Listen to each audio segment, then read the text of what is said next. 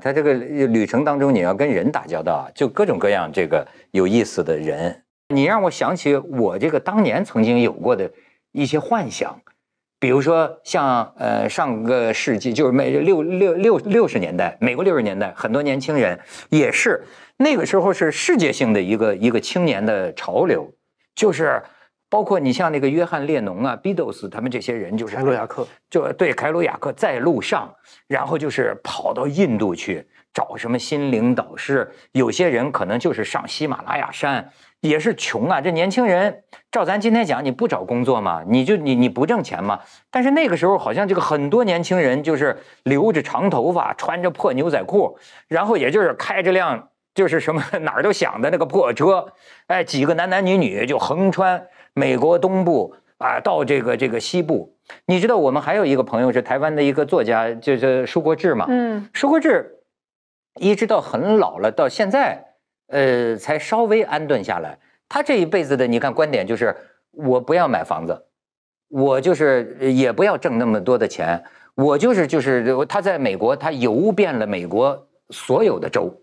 但是实际上兜里也没有几几分钱。但是对他来说呢？就是一种体验。我我觉得我其实也有目的，但我的目的是可能是写作方面的目的，嗯，不是那种纯物质性的目的。然后我觉得，其实现在这个社会又回到那个潮流吧，比如现在，呃，西方最流行的一种，就是年轻人最流行的一种方式叫 nomad，digital nomad，就电子游牧，电子游牧，对，就是说你有了一个，因为现在这种网络很发达了。你不用去公司上班，你不用做朝九晚五的这种工作，你接这些散活你用电脑，你在世界上任何地方都可以工作。然后他们很多就是变成了这种电子游牧，拿着一个笔记本电脑，完了就全世界的在在玩然后在旅行，然后每天晚上可能回去以后干会儿干会儿活拿那电脑干会儿活把那发过去。哎，你说这个人心里是不是都有个游牧民族的灵魂呢？我的第一个人类的基因里，嗯。我的电子邮件，我我到现在还在用的一个那个电子邮件的名字就是那个 Nomad，我很早去注册的。就是我刚刚就你刚刚说那种，你最早那种很不舒服的这个旅行，跟后来那种很就很舒适的，其实你记忆当中更深刻的是哪一个？可能应该是那个不舒服的，是为什么？我也在想这个事情，就是我更年，我就是我小的时候也是会很喜欢到外面去啊。就我我我这我这几年在反思，我为什么喜欢那些东西？我觉得可能正是因为那种不舒服。就是说，你投入到一个呃，哪怕你学的是那种语言哈，你到了那边那个那个文化那个语言对你来说是有一点挑战的，其实不是你最舒适的状态。嗯，我记得我第一次去，我第一次去美国，我还说，哎呀，第一次看到一个看就看起来那么容易的文字，因为可能去去去中东或者去伊朗去那些地方就更难一些嘛，你会觉得，我说为什么人会喜欢这种不舒服？后来我有一次看一个人就讲音乐的时候，他讲在日本有一个。很就很传奇的，呃，那呃那个吉他手叫那个吴满彻，他写的那些谱子，他说他最在意就是在日本文化当中有个叫 inconvenience，哦，是有意的、有意识的这个不舒服。呃，比如说他故意把那个曲子写的特别难，比如说你弹吉他，他不能用大拇指，他跳不上去的，他写那么难，就逼着这个人要用一个特别的方法，想我怎么能把大拇指给就给弄上去呢？然后这后来的人想改他的谱子。都很难改，到最后他们想方设法做到了以后，回过头来想，哦，他那个谱子写的是最对的、最好的，恰恰是由于他给你设置了这种叫刻意的不舒服，激发起了你这种一种潜能，我能够把我自己的潜力给发挥出来。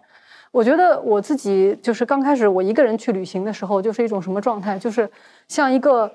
就像一个卫星的接收器，啪，全打开了，就是所有陌生的东西你都张开了，你就可以去接收那些新鲜的这个信息。这时候你自己的那种潜能可能是发挥到最大。所以，最它不是那个不舒服让你留恋，而是不舒服激发起你自己的跟你庸常的生活不一样的潜能。这个东西让你很迷恋，我觉得都会上瘾。对我也遇到过一个，我问过一个人，就是我们一块在一个很荒的地方，我说你为什么来这儿？为什么来这么荒的地方？他说，这种荒芜啊、荒凉更容易让他感到自己还活着。嗯，反而是这种感觉，他被他的感官被打开了。大部分美国现代的呃年轻人日常的生活呢，没有办法体体验这种你讲的那个那个刻意的不舒服，所以呢，他们就花很多钱 到一个沙漠当中去。参加一个节，火人节，哎，对，火人节。去之前呢，就是哎呀，准备很多超级市场买很多东西，一帮朋友到了那个荒荒漠上呢，要自己盖一个帐篷，没有洗澡，没有 WiFi，没有什么都没有，一帮人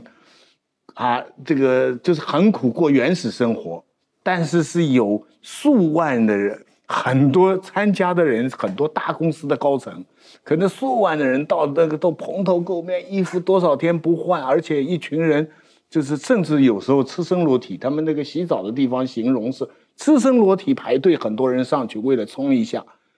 还很贵，还很贵。而且他们努力的要做一个雕塑，每个人做一个艺术品，做完了以后最后一天点火全部烧掉，什么都不留下来，最后再回大城市。然后我说一年工作就有劲了。这个就是，这个就是一种可以。这个美国很有名，每年年都有报名，很难加入的，存在于人本能当中的一个冲动。你呢，已经是有点自我选择了，所以你记住了这一段，这个很辛苦。他呢，这个是完全是可以说是一个境界了，因为现在的人完全可不必这样。所以不同的是，我们也经历这个过程，但 我们是没有选择，因此呢。这段经历，很多人到现在很怀念，怀念到了有时候忘掉了自己是没有选择，以为是一个非常浪漫的事情。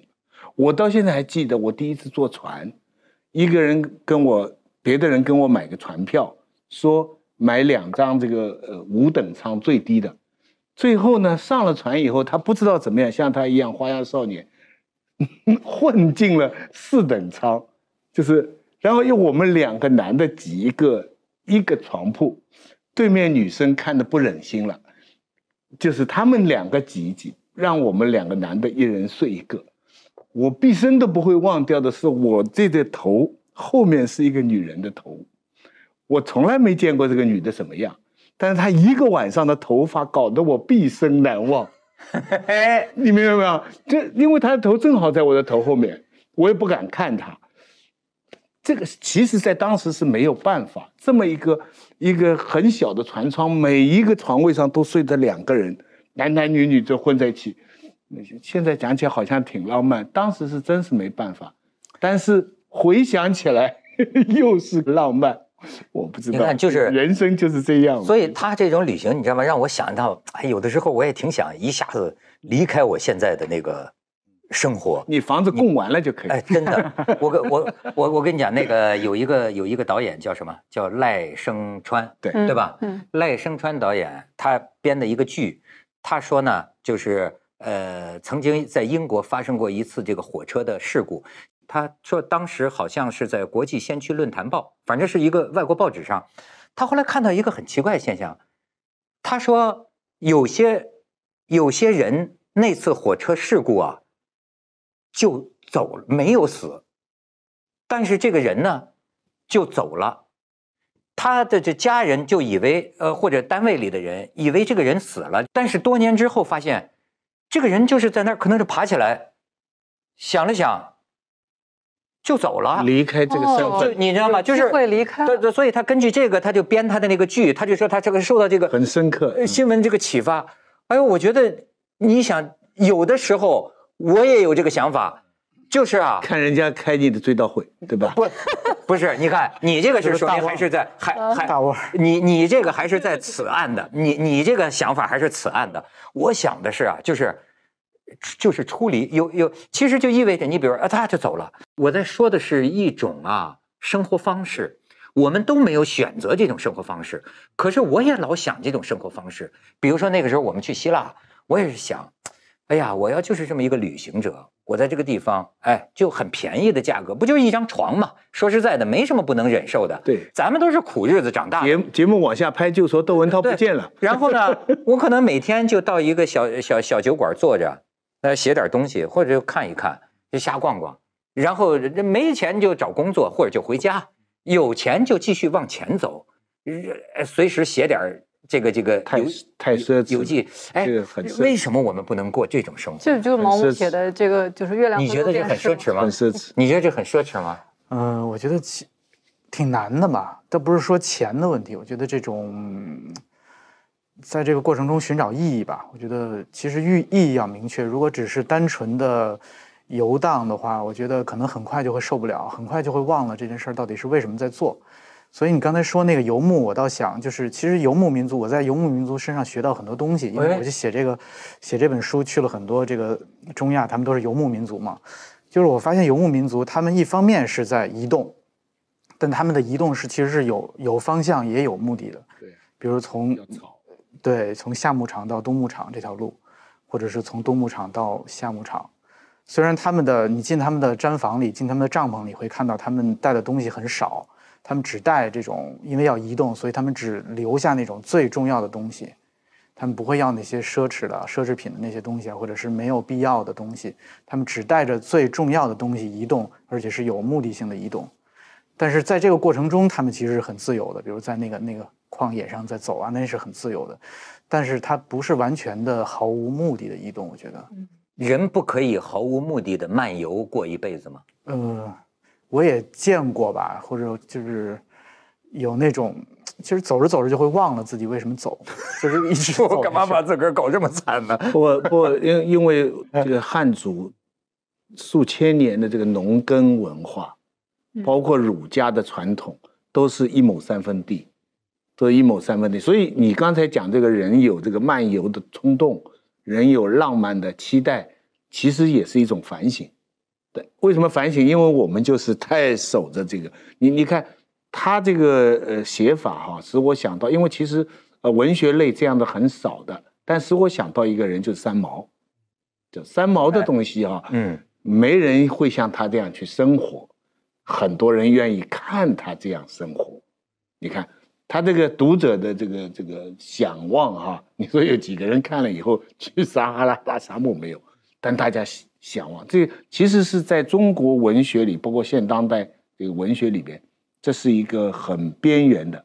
啊，但是也许以后会发展的更好，但很边缘的。但实际上，你的每一天不都是只有浪漫和自由的？还是我觉得你是非常，他很有规律的在写作。你要做准备，你要回去每，你就你每天要写多少字，就是一种训练，对吧？其实你的具体的每一天是什么样子的呢？旅途中就是白天。打开自己吧，去遇见那些，去遇见人，去看那些东西，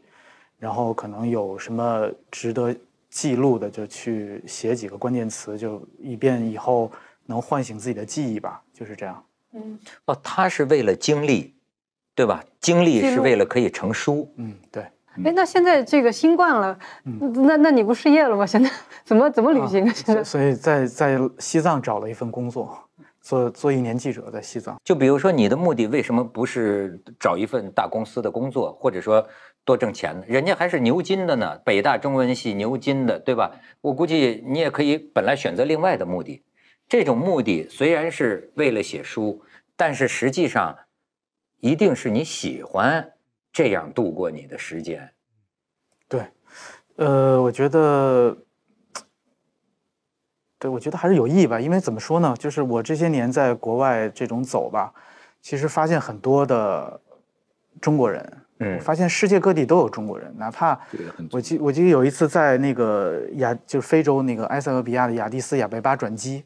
遇到一个中国人，完全不会说外语，然后他要跟那儿转机去这个布基纳法索的一个下面的一个地方，那儿有金矿，他去那儿打工，听都没听过。对，就是西非的一个，全是反正就是很乱的。去那儿打工，去那儿去那儿的金矿打工，这种他是完全个人的行为啊，还是有可能有中国有公司有中国人在那儿，有老板在那儿去挖金矿，可能中国老板，然后他就让我帮他去弄这个转机手续，因为他不会说外语。然后我在其他地方也都发现了，比如说在咸海边发也发现有中国人，在哪儿也发现有中国人，然后我就发现其实。呃，大量的这种中国的生意人也好，他凭借着对，不管是对财富的渴望也好，还是对什么的渴望也好，他都在世界各地的这种地方都有。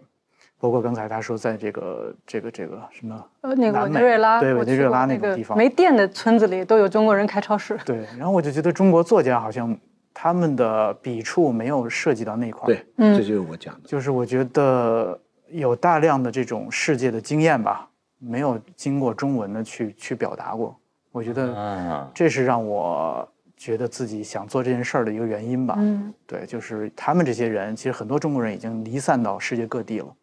但是这他们这些人的在面对什什么样的世界，然后那个地方的环境是怎么样的，其实你面对比如说各个不同国家、不同民族的人的时候，哈，你能意识到，就比如说中国人和他们在性格、为人处事这方面是不是有不同，还是说人本质上都差不多？本质上东西是共通的，但是中国的文化是，我觉得是，尤其是那些在国外，他们是不管闲事儿，这是特别的明显的一点。啊，不管当地的对，不管当地的事情事儿，，嗯而且都爱种菜，养小鸡，什么自给自足。嗯对，然后他这种性格就造成了一种什么呢？这种也是特有的中国这种文化造成的，他能做这摊生意。不过也是有交流非。非非常有对我有一次在伊拉克碰到就一个就那中国人，他们也不管人家的事儿，但他会跟我讲，对面那间铺子卖那个 falafel，就是那个油炸丸子，特别好吃。为什么？因为那个油是天天换的。这件事情他很在意，那个油是天天换的。嗯，哎，徐老师为什么觉得他说这个很有意思？呃，中国从来是现在讲的很大的观点嘛，就文明国家嘛，从来个天下观，从来就是觉得我你遵守我这套天下观念的人，嗯好，我们就当你是朋友，你超过。但是中国不大去改造那些外面的，包括那些地方。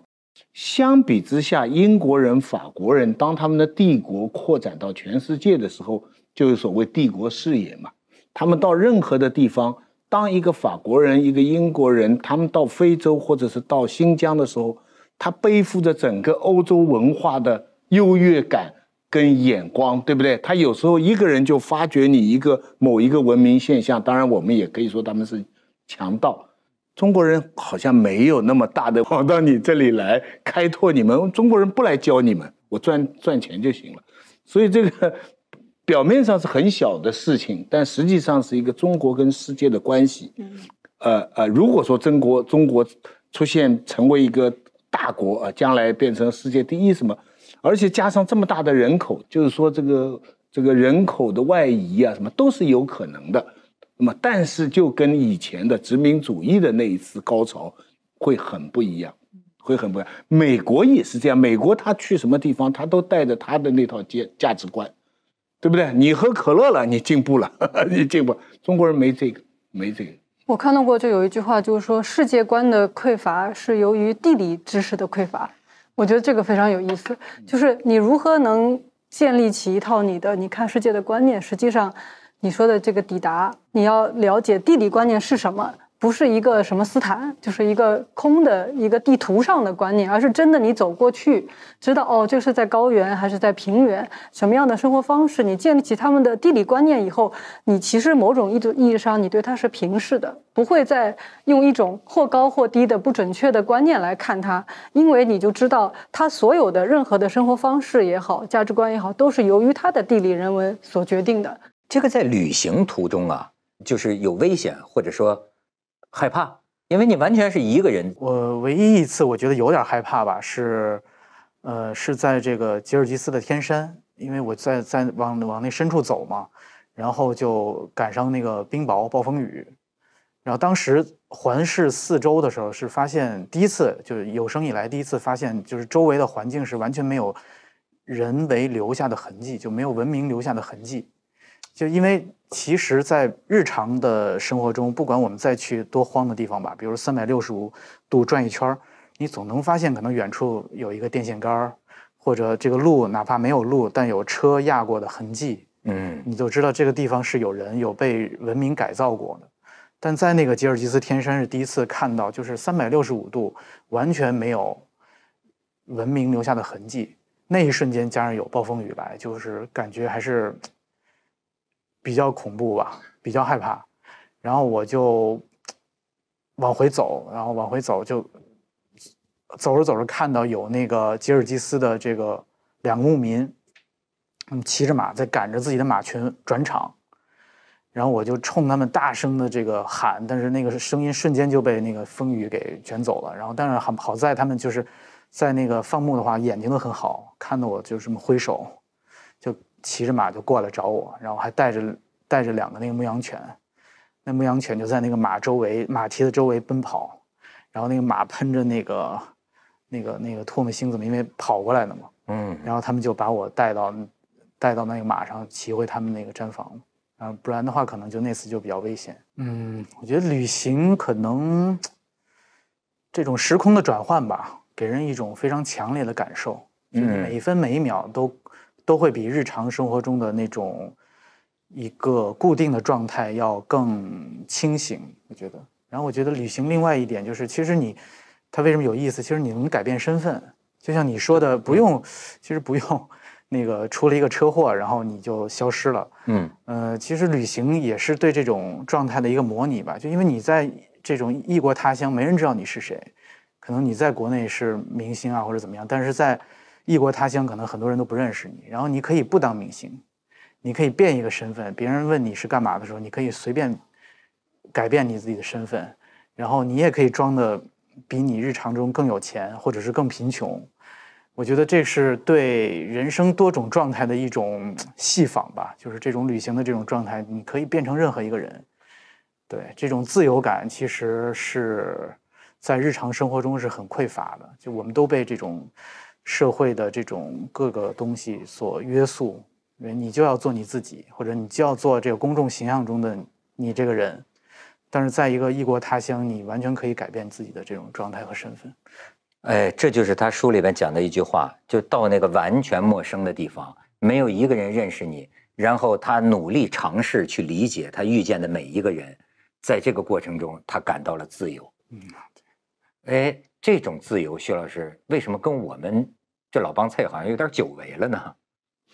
我觉得我心中还是有这种少年的这种梦的。但是这个你刚才讲那个身份的变换呢，那就是像他这种背包背怎么来说背包客或者单身走比较容易，否则的话你是你是呃跟家人一起，或者是你参加一个团的话，你这个身份还是在，你跑东跑西还是这个身份，你你你你你那个车上都认识你，所以你始终是这个身份。有些事情碰到两个俄罗斯女孩子，你还是没什么戏唱，对不对？他是他说对了，就是这个人呐、最要的是什么？这还是那个永恒的问题，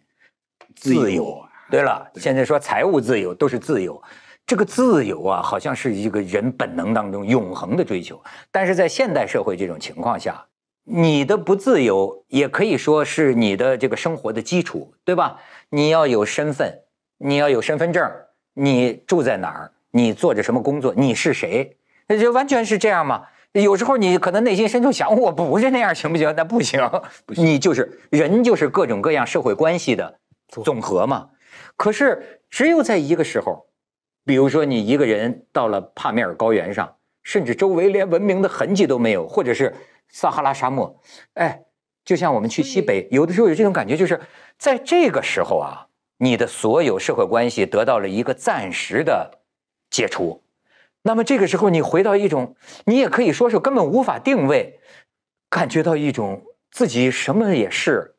什么也不是。所以自由和自由的感这个自由和孤独是在一起的，独立和孤独在一起，所以那么难，敢不敢要这个自由？是不是？它一定是你一个人旅行，一个人选择一种生活方式，所以这个自由就是要和所谓的你挣脱了所有的关系的独立和孤独是在一起。对，我觉得，所以就是为什么要区分旅行跟旅游？我觉得旅游也很好，其实每个人都需要旅游，跟着家人、跟着朋友一起。但在那个过程中，你就是一个，你们在那儿还是聊着母语，还是在说着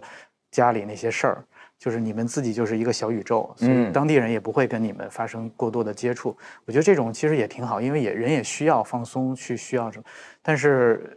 可能旅行可能就是更多的是一个人，然后那种孤独的状态激发你去体验，去接触当地。对，而且我传传统儒家讲人的意义就是人嘛，仁义道德的人嘛，嗯仁义道德的人就是两个人嘛。你看，一个单人变两个人，啊，就是你的什么价值，你的意义都是建立在你跟别人的定义上。你是儿子啊，你是丈夫啊，你是朋友啊，你是爸爸啊，等等等等等的人嘛。所以我们现在流行一句话叫“求人得人”嘛。哎是就是 呃咱二咱胎二胎，对，哎，但是这种体验确实是很有意思的。就是完全一个人的时候，我喜欢这个这个叫什么移情啊、代入啊，我就老在想，你比如说这个玄奘、唐僧，他要是一个人，当然咱不知道他可能身身边还跟着孙悟空，对吧？就是猪八戒哎，不是一个人，但是他一定有过在漫长的旅途当中，一个人独对呃天地，哦，对，他是一个人，周围几个都是鬼怪。这个人是不是还是好人多？在陌生都是陌生的旅旅途上，可能大部分都好人多，或者是本身他想他是个坏人，他想算计你的时候，然后你去表现出，其实我很多时候我都发现他是，比如想坑我一下或者怎么样的，但是你就还是跟他故意跟他称兄道弟啊，然后故意跟他表示友谊啊，他反而就不好意思再坑你了。之后，就这种的也挺多的。人帮人也是很本能的。陌生人的善意，对陌生人的善意，其实是旅行中很重要的吧，就是依靠陌生人陌生人的善意。包括对这中亚的这些这么这这几个几个几个斯坦，你看了这么一圈之后，你的印象是什么？呃，我其实去这个地方的一个目的吧，就是观察苏联解体以后三十年的这种变化吧，对当地的影响。因为我觉得我们之前其实有很多，就中国跟这些国家有很多共通的地方。就远古的历史就不说，唐代或者那些时候就不说了，哪怕是近代，就是苏联这段时间，其实我们都很像的生活方式啊，然后意识形态啊，只是到了这个九十年代。苏联九一年苏联解体以后，我们走上了不同的道路，所以我们今天发展到现在这种程度，其实，在某种程度上也是一个在十字路口选择的，就是我们可能也说也会，本来也可能失落，或者也可能变成一变成卫星，但是这种感觉是让我想去观察这个这个这个三十年对当地的一些影响变化。他们是什么样的状态？他们在全球化中是得到了什么，还是没得到，还是失去了什么？对，是你对他们这些这几个国家的未来有什么估计？我觉得就是像我书名写的这种卫星的状态，因为我发现他们自古以来吧，都是受这种周围大的文明或者是呃力量的影响，不管是当年的蒙古、波斯，后来的这个苏联、中国。他们总是或或者美国，美国现在比如撤出阿阿富汗了，之前二十年在这中亚有很大的存在，就是他们总是被这种周围的力量所牵扯吧，所以是卫星嘛，卫星是要围绕着一个行星在转嘛，嗯嗯，呃，所以它，我觉得他他他就是这种这样的一个状态吧，对，所以我觉得可能未来他们会，呃，如果说比如说“一带一路”啊，比如说我在中亚看到很多这种中国的基建啊。修的路很多，那种修的好的路，一走到上面就知道是中国，因为那个感觉跟走在中国那个高速公路上一样的。然后一问，果然就是中国修的。很多这种，就那种一下一下那种那种，就有一段那个沥青，然后中间有一条缝然后就那个更当一下，就那个感觉，完全就是在中国走高速的那种感觉。对，哎，看出中国之路来了吗？中国修的路，就高质量的公路，哎。接下来一段时间，这个内地的读者对这个地区会更加关注，哎，尤其是阿富汗。但是我觉得，就是我真正感兴趣的，还是他独自在旅途上的这种内心感受。你的结果呢，是为了写这么一本书，但是你这本书呢，就唤起了我觉得人到底应该 怎么过这一辈子的很多感受。有那样一些瞬间，这辈子没白活，就是有那么一个瞬间呢，我们只能暂时性的离开一下，就是脱离了所有的社会关系。当你脱离了所有的身份的时候，你一个人独对完全的陌生，那就像是一个宇航员失踪在宇宙当中。